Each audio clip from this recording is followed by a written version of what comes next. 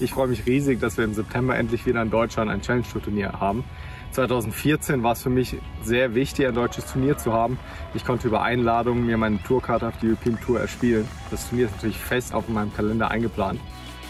Für mich persönlich waren das prägende Jahre auf der Challenge Tour. Es hat mir wirklich, ich habe viel gelernt, habe viele neue Kollegen und Freunde getroffen und es hat mich definitiv vorbereitet für alles, was danach kam. Aus meiner Perspektive hat das Challenge Tour Turnier sowieso die letzten Jahre gefehlt.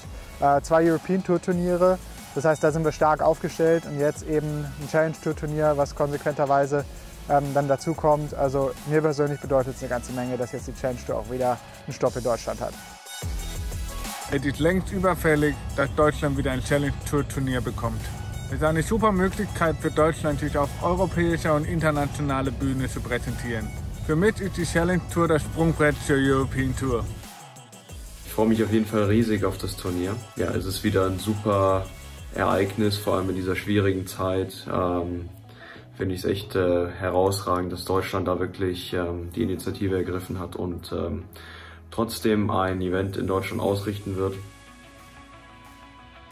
Ja, für Deutschland selber als, als Golfland, das ist, glaube ich, wichtig, dass wir mehr in, in das Profi- Dasein investieren und äh, das wird jetzt gerade damit getan, dass wir ein weiteres Profiturnier haben mit der Challenge Tour und äh, freue mich tierisch drauf und werde natürlich auch vor Ort sein.